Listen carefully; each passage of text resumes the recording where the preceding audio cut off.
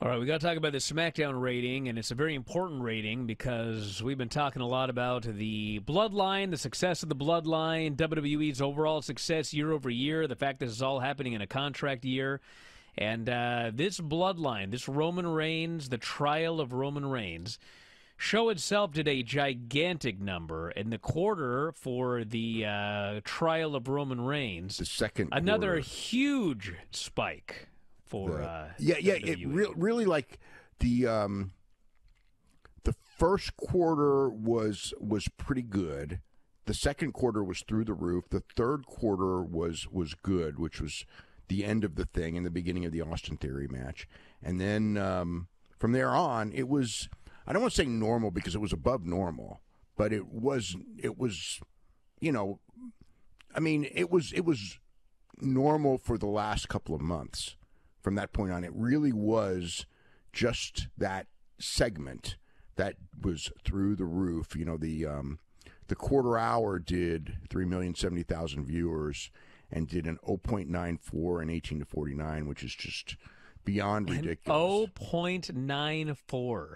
Yeah, 1.2, 1 million. I think it was 1 million 220. Uh, I don't have the. ex- I have the exact number here somewhere, but it was over 1 million 220,000 viewers in 18 to 49. Um, let's see where where that notes would be. Um, this is my rampage notes.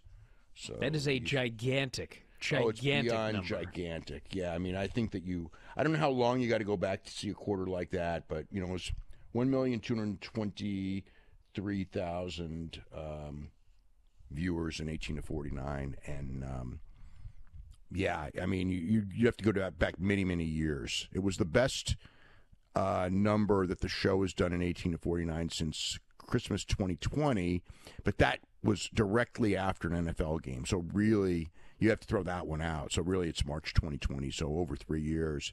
And you know, when you're talk, talking about three years of of uh, television, I mean that's that's different world. I mean, even two years ago when you compare it, it's ridiculous because consumption has changed. The world has changed so much. You know, in the last you know even year year and a half, the way people watch TV. So uh, the other thing is, and I don't know this, but um, because the, the ratings aren't out. The Saturday and Sunday ratings are not out. They will be out tomorrow. But from Monday through Friday, it was the number one show on all of network television, and and by a somewhat you know somewhat significant margin. I think there was one. I think there was maybe one show that was kind of in the ballpark, but I mean, pretty much blew almost everything away. And I don't know if there has ever been a week where a wrestling show was number one for an entire week. I mean, obviously SmackDown has been number one on Friday nights many, many times. And more, more, you know, almost every, you know, most weeks it's number one. But you know, for the week, it's it's there's always something, and and usually many things. So last week it was almost number one. It was uh, NASCAR was number one, and it was number two. Um, but I cannot recall ever a week in the history of television, which goes back 75 years, that um, a wrestling show would have been number one in network. You know, wrestling's been number one in cable, um, but there's a big difference between cable and network. And it might be number one in all of television. I, you know, I don't know what other sports there were. Uh, that'll all be out tomorrow. So it, it, but it has a chance to be um, I believe the first week in history that this has ever happened. I could again, I could be wrong. Um, there may have been another week, but I I don't recall any of them, and um, it's it's an amazing thing. And I also thought the um, I thought the segment was unbelievable.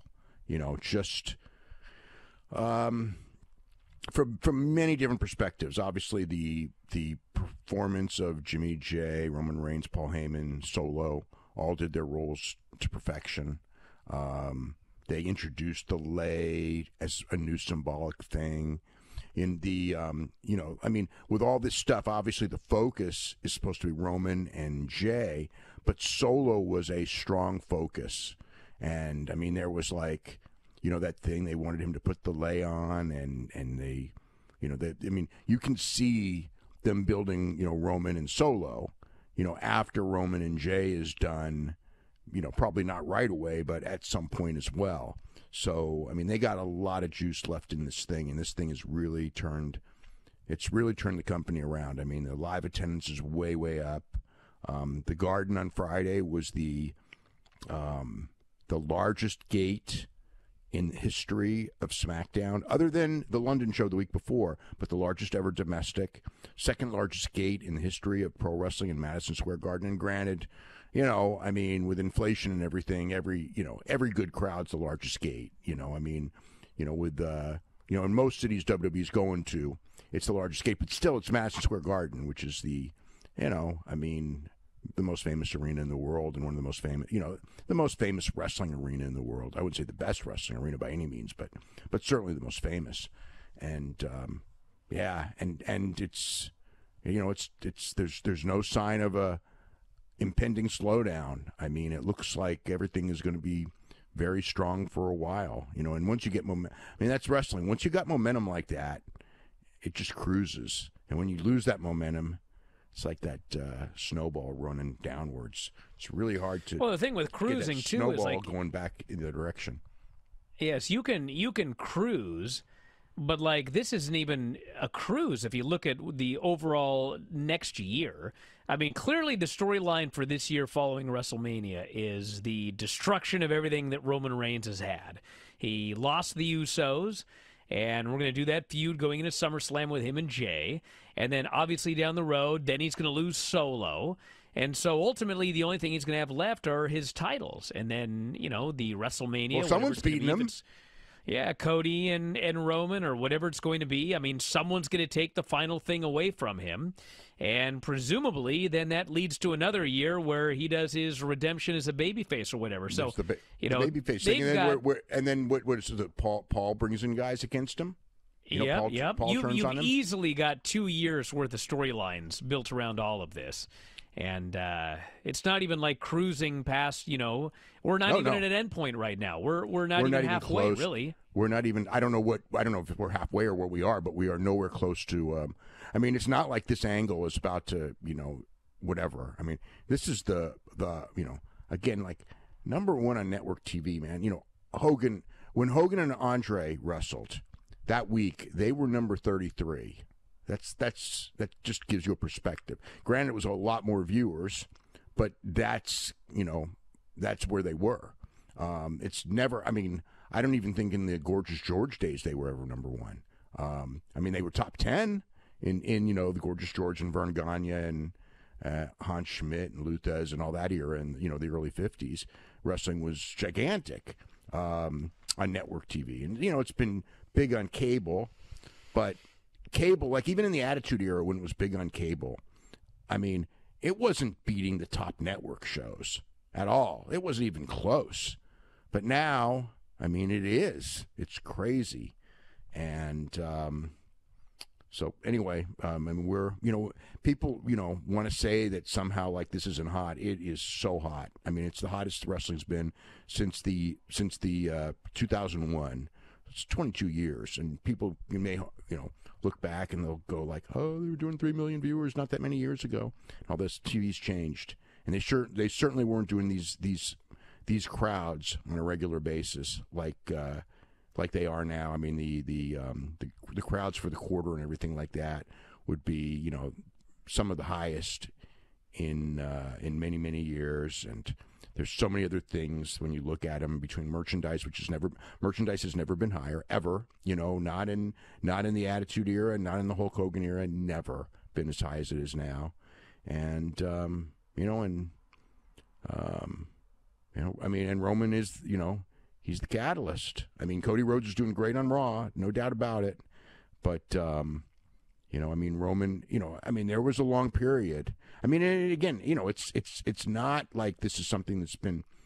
I mean, he's been great since he went heel, and it's been building and everything like that. But even when you look back six months ago, I mean, it has gone way up since six months ago. I mean, like Roman wasn't necessarily, you know, high quarter and all that all the time last year. I mean, and, and the bloodline, to me, when the bloodline first got over, I mean, as something really special, that was more Sami Zayn than anything. But now, I mean, you know, and some of it's self fulfilling prophecy. now Sami Zayn loses on TV regularly, and it's we don't even blink our eyes. Ah, he lost tonight. He lost a couple weeks ago when uh, he wrestled Gunther, and he lost. And and I was like, God, this is amazing. Sami Zayn's just like losing matches on TV like it's nothing. He's just a guy, and Roman is certainly not just a guy anymore. I mean, they have the guy who was the hottest guy. Um, you know, I mean, they their their belief was is that uh, he couldn't be the guy, and the guy who they think could be the guy, well, he is the guy. There's no doubt about it now. Hey, if you love this clip, have I got a deal for you? WrestlingObserver.com. Do you have a commute? Do you work out at the gym? Do you like listening to audio on your headphones or your earbuds or whatever the kids use today? Well, WrestlingObserver.com will give you all the audio you'll ever need in your life. Over 15,000 audio shows. Every audio show that we have ever done, dating back to 2005, is available for subscribers at WrestlingObserver.com. Every time a new show comes out, you can podcast it directly to your phone. If you have a commute, as noted, if you go to the gym, if you like to lift weights and listen to Granny review soap operas, well, WrestlingObserver.com gets you full access to all of these shows and all of these archives. You can go back and listen to TNA reviews from 2010. You can go back and listen to reviews of every WWE pay per view, every big story that's ever happened in wrestling. You can get access to that at WrestlingObserver.com. Plus, Full access to the Wrestling Observer newsletter every week. 40,000 words of news and information in pro wrestling. Why get all your scoops off Reddit, which aren't even accurate most of the time? Go right to the source, the Wrestling Observer newsletter. You also get Observer archives dating back to 1990. So check it out today. Thousands of issues of the Wrestling Observer newsletter, tens of thousands of hours of audio all for $12.99 per month or as low as $9.99 if you sign up for a year. You'll never, you'll never run out of audio if you subscribe to WrestlingObserver.com. So head up there, check it out today, and I'll talk to you again after a while.